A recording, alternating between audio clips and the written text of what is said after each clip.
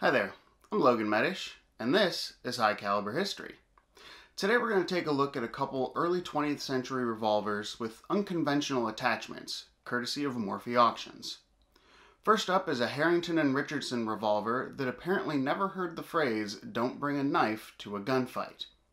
Between 1901 and 1917, Harrington and Richardson built approximately 2,000 of these knife revolvers, known as the automatic ejecting knife model.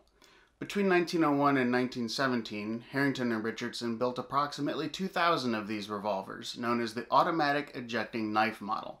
The name comes from the fact that the guns were top break designs that automatically ejected spent casings when the gun was broken open. Those made between 1901 and 1904 were chambered for black powder cartridges, while those made between 1905 and 1917 were made for smokeless powder. Offered as a 6 shot in 32 or a 5 shot in 38, the catalog only lists nickel as the available finish, but some blued models have been observed.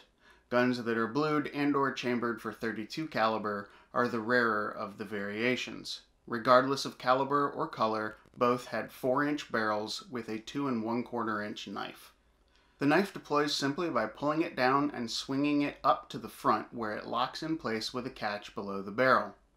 To store the blade, you manipulate the catch, free the blade, and then swing it back under the barrel where it secures under its own weight. In a 1907 advertisement, the knife revolver was listed with a sales price of $6.75. Adjusted for inflation, that comes out to a little less than $190 in 2020. The other gun we're looking at is an Iver Johnson second model safety automatic. This particular one is the hammer model, but they also made a hammerless model. Either way, both are designed for black powder cartridges. The gun itself is unremarkable. It's the grip attachment that sets it apart. What is known today as the Bourne Knuckle Duster, it appears only on second model safety automatic revolvers between 1906 and 1908, with approximately 7,000 manufactured. All of the guns came from the factory with this attachment as special orders. It was not available as a standard production piece. As the description of grip attachment implies, this was not something that was integral to the frame like the skull crusher found on Merwin Hulbert revolvers. Instead, these were attached to the frame with three screws, one on the butt and two on the front strap. The guns were offered in 32 or 38 caliber, and like the H&R knife revolver, nickel was the standard finish, with blued guns being rarer. The patent for this pistol grip was first issued to George C. Bourne of Worcester, Massachusetts on May 10, 1904, which is the date you'll see on the units themselves. The patent was reissued on July 10, 1906, and was assigned this time to Mary Elizabeth Johnson, Iver Johnson's widow. It's believed that she paid George Bourne $1,200 for the use of his patent.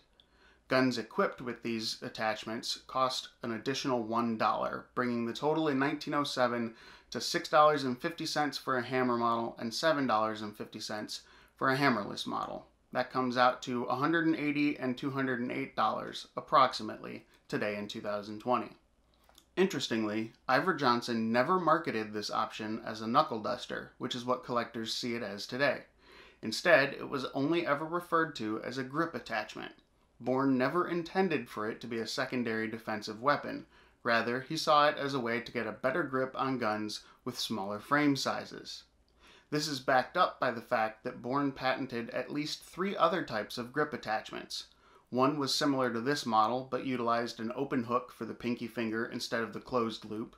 Another clamped to the barrel and made a sort of awkward vertical foregrip, and the final design was for rifles and shotguns, and it combined a finger loop grip and rear sight that attached to the barrel to provide different length of pull with the support hand.